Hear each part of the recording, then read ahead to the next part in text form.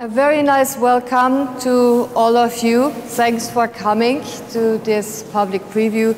I feel especially honored that uh, Cerith Wyn Evans is with us here tonight. We all know that he has a very busy year in front of him. So after this show, he's like directly going to Venice for the biennial. He will open at Tate Modern, a big installation. So he's very busy. I don't know how much I have to introduce him in Switzerland, but I just give a few dates. Actually, you have been here in Switzerland already at uh, once, but that dates back a couple of years to a show in Glarus, which uh, Beatrix Ruf did, but when she was in Glarus, so we all know this is quite a time ago. And so I'm very happy that uh, Cerith is back here in Switzerland and that he accepted to do this exhibition. One of the things which really amazed me when uh, we prepared this exhibition and when you actually came, I had the feeling that you prepare the, uh, that you do exhibitions and conceptualize works by being in the space. We're seeing it only not in the way that I entirely envisaged it, because this room is full of natural light during the day. So the tension between the natural light and this synthetic electrical light is a kind of tension and a force that we can't witness. And in a sense, then you can imagine that the sound that this provides to the atmosphere of what is created in the tension between these two light sources is somehow also a kind of friction that's created in between. The architecture is all important in that it was always in my mind the plan for the room, knowing that people would enter from here, knowing that it was a parkour to other parts of the building, knowing that it's the first act in a series of rooms and things that emerge over a viewer's experience of coming to visit the place. You know, you think about all sorts of things. You think about the, your memories of the place. I have visited Zurich many, many times actually, and I've had all sorts of reasons to visit, largely to do with work that I've made, group shows that I've been in, talks that I've taken part in, all these sort of, so in a way, you're, uh, it becomes additive. And so I wanted to bring something to the opportunity. And uh, every exhibition to that extent is a kind of experiment, but the works are new and they're seen here for the first time. So uh, yeah, that's part of an, a, a, sort of an adventure for me. the show is on for a long time, and I'm happy that people will have an opportunity to see it as the weather changes, as the seasons change, as we get more daylight. These things will have a bearing on the way in which people read the piece. This is a sort of, uh, we used to laugh about the idea of this machine having a kind of mind of its own, not only does it resemble some kind of sci fi jellyfish, it, um, it has these two programs that play these composed pieces of music. So even though the music is attenuated down to sometimes only a few notes or chords that shift and change, there are 40 different compositions, as it were, in each lung, in each breathing machine.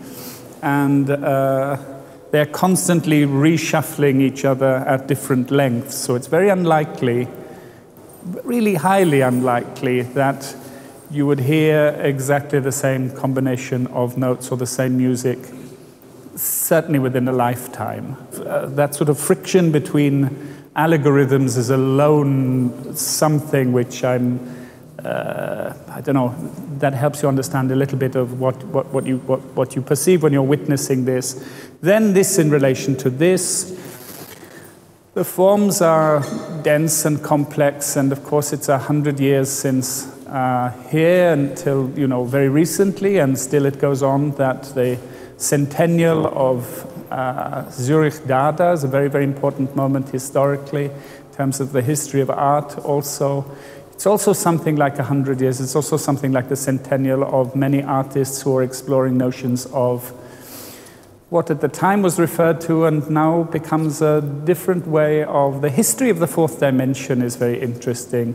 certainly around 100 years ago, artists were examining this notion and how perhaps this has sort of played out in relation to what the developments are have been within not only philosophy but specifically perhaps physics in the last hundred years. Switzerland has a big part to play in that also. An object doesn't necessarily have a line that you can draw completely around it, or the line isn't a solid line. It may be a broken line, or it may be more like a fog. Hmm. I think it's a great piece, and um, this uh, it has this reference to the Noh Theater. We were talking to the press this morning about it, and uh, you gave a fantastic explanation about what uh, you described a few moments of the Noh Theater, which it, in itself is a very complex form of a Japanese theater um, with many ingredients, and part of it has sort of uh, gone into this uh, installation conscious of the fact that I'm forever up against insufficient means in order to articulate what it is I try and do, which is one point at which you start thinking, well, shut up, it's doing it already, you know, because it's in the room or it's in your comprehension for it.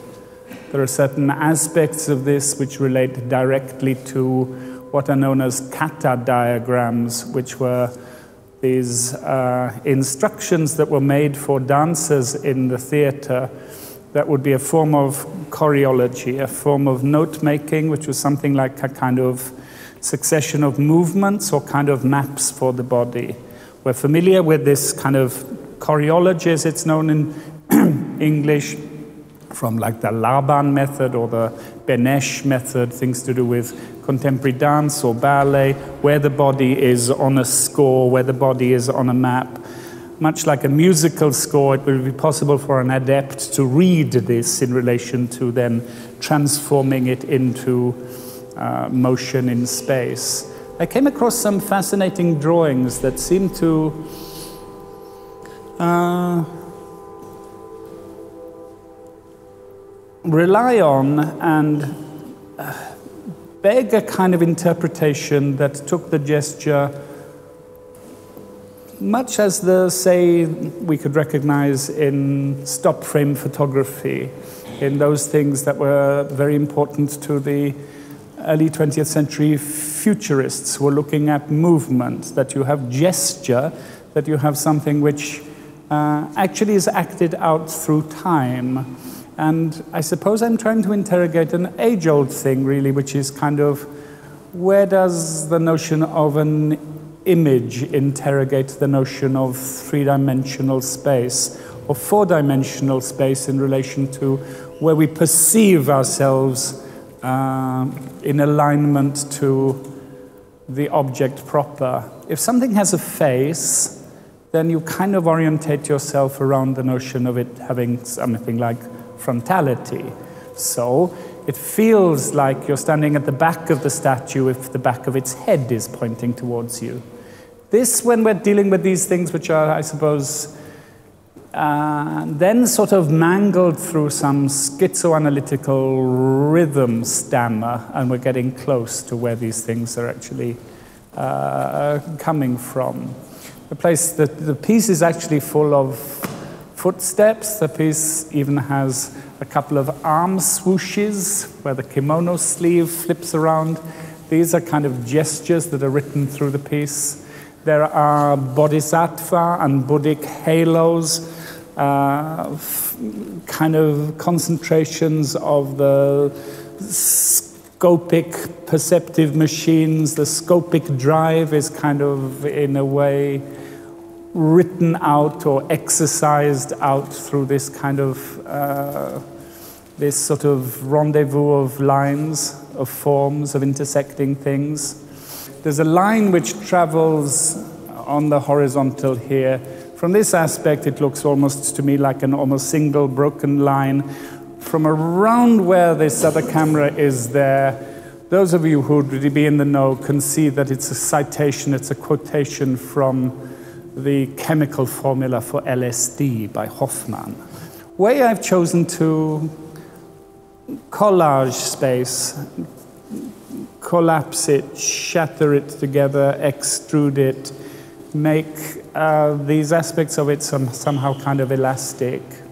So there's this sort of stress or tension between all these things which have um, multiple kind of chains of references extend out from it, but at the same time, there's a unity to the fact that the light is made with these uh, organic materials. The glass is a very ancient, you know, its uh, earliest form of glass is sort of sand hit by lightning, and uh, in fact, the neon manufacturer who left only two days ago said to me, You know, if anything breaks, Cerith, it all just goes back to nature said the mercury is heavy, it will drop down to the ground again, but the neon and the argon will just go back again. It just adds to the entire sum that there is that exists. There's no more or no less. All we're doing is refining it to this tube. So we were laughing about the fact that, in fact, actually all of this is just borrowed, you know, and it all gets somehow kind of.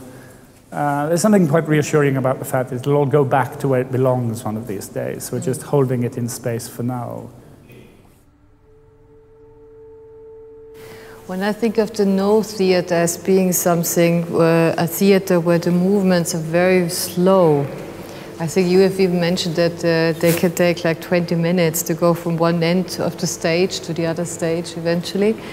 And uh, when I look at the dynamic in the work, it appears to me as a much quicker movement from certain mm. angles. So has a big dynamic. And uh, I also when the, when the flute piece is back on, I think it really comes together very nicely because the, the sound of the flute really bring the, the element of the flute back into this piece as well because there are also flute pieces in the Noh theater. So I think it's, it's a really interesting mix between, or, or brotherhood you called it, between these two pieces. The sound colors the, the nature of how you perceive this. You know, if we are playing the Flight of the Bumblebee or something like this, which fortunately these instruments can't really play very well, but you know, it wouldn't have been too difficult to do that, then how this appear would be very different. We'd be reading it in some way, for want of a better term. We'd be uh, taking something different from this. So, in a sense, and I think it's on a fairly uh, fundamental sense, you have this breathing. These are lungs, if you like. They're like the Scottish bagpipes. These lungs fill with air, and then they give out the air when the machine tells them, when the notes tell them what to play. there are points, if you're able to spend any, any time in here, where uh, also they they learn from each other, the two machines. And so when one machine is going along a certain, it'll, make a, it'll influence the decision that the other machine needs to make. So there's a kind of discourse between the two machines also. And at certain times, they actually have to just, which I should learn to do now, stop and breathe. you know? There's a point at which they actually are, their lungs are full, and then they, mm. and then you get this, and you get this breathing out which changes the speed at which you look at and perceive the space, also in a, in a sense. Changes the speed that you're able to look at something. This room is, in a sense, balanced with another room, which is a kind of coda to this experience. That takes us to a room upstairs. What's nice about going upstairs is that you actually have to come back through this room in order to leave it. So, to a certain extent, you have this, this parkour, you have this kind of loop so, in a sense, you're forced, if you actually want to leave the building, unless you're going to crawl out through a window, uh, you have to come back through the way that you started. That, again, of course, is uh, something which affects the way in which the work is made to work, work is allowed to work. How it's possible to create these occasions in the space which give people uh, an opportunity to reflect on what they're seeing, on how the space is being used and occupied, and how these things are made to be occasions, in a sense.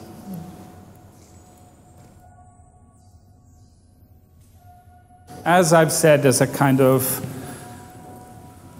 coda to the experience of the room downstairs, uh, make a space for a kind of reflection, which on a simplistic level maybe relates to a kind of son et lumière. You know, you have something which is lit, you have a soundtrack. The soundtrack I worked on for a long time actually, and the soundtrack has found its home in this room at this particular instance in relation to this. In as much as I've spoken downstairs about there being variety or a myriad of references, uh, sound we're perhaps more familiar with from the point of view of hearing, editing, being uh, alive to the notion of collage, superimposition, uh, juxtaposition of various different sounds.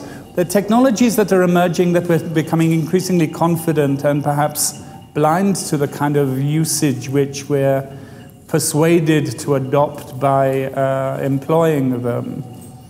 There's a somehow perhaps a for me, what I feel is a kind of sense of urgency in addressing some of these issues around the way in which our perception of the world is changing quicker than it probably has since the recent history that we study and think of as being relevant has ever existed. People are editing, people are producing not only images, not only sounds, but various forms of social experience which are hitherto uh, unprecedented. In a sense, my attempt to here was then to find a way to somehow create this landscape painting, this film, really. Don't know, John Cage is a very important influence on my thinking in relation to music, in relation to uh, what he might have called chance operations. These things relate to various philosophies that have emerged from not only Japanese Buddhism, but you name it. Uh, there are many familiar territories for us who are uh, friends of notions in and around uh, the contemporary art world. The soundtrack from beginning to end, since it does have one, is three hours, three minutes, and I think six seconds long. We said, oh, make it like 333. And, uh, but then in the end, it was like, you know, oh, actually, it's six seconds long. And I said, well, we really mustn't be pedantic about it, providing it's like around that. And I was thinking, I wonder if I'll ever tell the story about how we decided not to care about this three seconds. now I just have there's all sorts of things. You can hear a shakuhachi flute here, which is the kind of flute which is played again. So this has a reference to Japanese theater, Japanese culture. It's a classical instrument. You have piano recordings that I made seven years ago. Sometimes things sit around and then they come to, uh, you know, they, they come to form at different periods of time. For many people, it'll be obvious to them that the, these palms, these form of Kentia palms, directly and can only lead to one place, which is the influence of the great Belgian artist Marcel Broodthaers. For him, they came to represent uh, Belgian colonialism, the history of, in a sense, uh, how these plants, how nature had been codified politicized, historicized, that there was nothing really very natural about these things at all.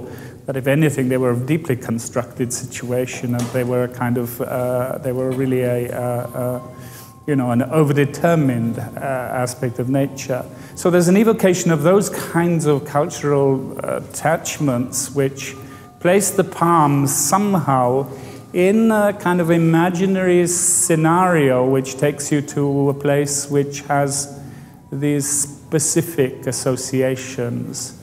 I was very cheered up on the way here to set these palms the other day. There was a man in the street delivering some beer to a bar somewhere, and he had a t shirt on which had exactly this. It had a palm tree and a big round, and it said Malibu underneath.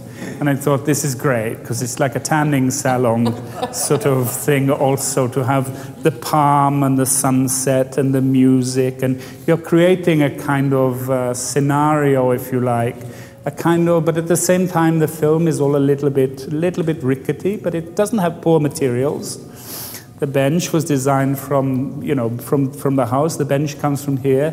These lamps are borrowed or on hire from a local film and theater company, actually. So they spend their normal life when they're not on stage in here, lighting a stage in the theater. So we bring them in as sort of somehow from behind backstage to to being on stage. These usually entertain and decorate a space which is uh, open to hire, which kindly Joy took me to in car the other day. We drove and we went and borrowed these palms from a place which they host discos and weddings and anniversaries and special events and this kind of thing. So they're making their appearance in a different way here.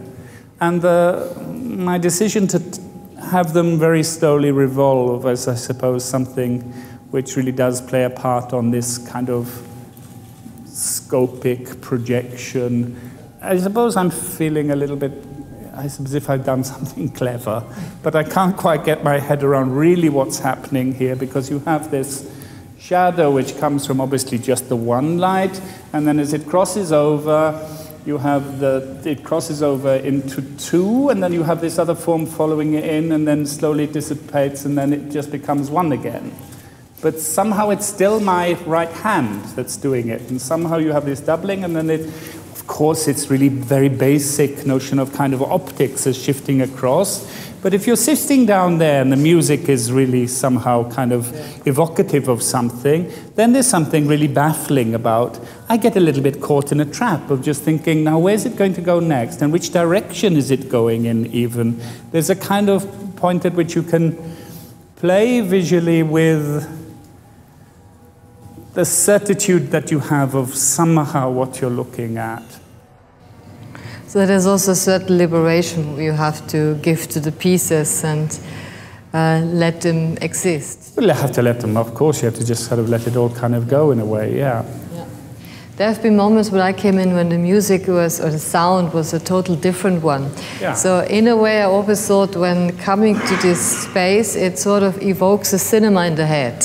So, and uh, depending a little bit to where the sound is, you could have a romance, you could have something more energetic, uh, yeah. and it, uh, it varies totally. So, it's really nice to come in and out in this uh, space because it changes the atmosphere a lot. To it, I mean, everybody brings in a certain emotion uh, in the exhibition, so none of us is free of that. And then you have the sound piece, and the moment you discover that the palm tree is actually moving is something really nice. Or you see in the shadow when one of the uh, leaves sort of flips over because it touched it. So it has all these really uh, very emotional moments actually to it. For all it's worth, it is considered. You know, the, the relative position of all the things have been thought about before we decided to put them here. But you want to somehow suggest that there's a lightness of touch also, and that it's not just one way that you can experience. Very unlikely that two people would experience it in the same way, really in the same way.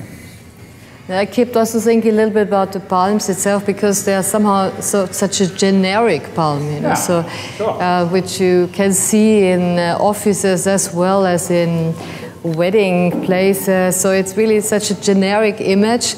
And I usually, I really like the way you said it as a constructed piece of nature or landscape. Because when we go back to where we are, the Haus Konstruktiv, so where we usually have a, a funny uh, relationship with nature, because nature is something the concrete artist didn't really uh, took into consideration for the artwork. So it, I think it's really nice to have a constructed nature piece here. So we have a piece of nature, but at the same time, it's an image more. It's like a set, a, a, like a film set. So it plays with a. Yeah, no, this is a long way from wild, isn't yeah. it? Really. Yes. This is a long way yeah. from un, you know, um, this is very mediated. Mm. And so I think this mediation is, all, is very much to do with the kind of notion of uh, a construct. And uh, I know I feel as if we're talking a long time about it, that we should just get it, leave it room in order to, uh, I don't want to say talk for itself, but uh, you know. Maybe we ask if there's another question here for this space. Did you never think of doing an architecture also like kind of a folly, a real Gesamtkunstwerk? Oh, yeah. It's a kind of, yeah, it's a sort of threat almost.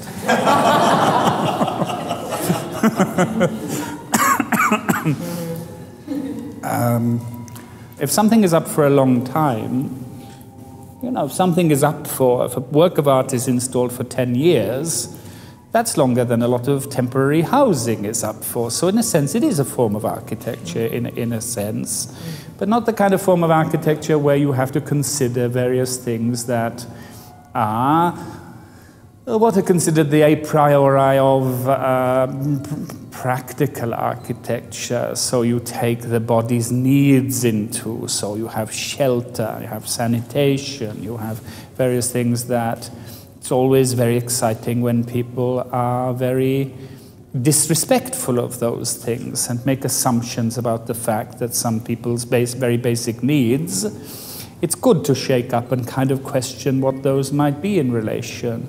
To a certain extent, the kind of esoteric mind games that I play in creating these scenarios let me off the hook from designing a bathroom or a toilet. You know, a folly. Well, yes, I mean, there are all sorts of follies, exactly. I mean, a film is very much, I always thought of filmmaking in terms of having, making a kind of building in a, in a sense. And the tectonics of cinema and the way in which space is framed and articulated, and people are guided through various ways and edits and uh, transitions and thresholds in the reproduced production of a kind of synonymous time is deeply tectonic and very architectural. I've been commissioned to make pieces that still exist. I mean, there are maybe half a dozen pieces that belong to buildings that are there kind of for good, you know, until they get bored with them or they break down or they're too expensive to mend or whatever. And those things are, they become more institutionalized.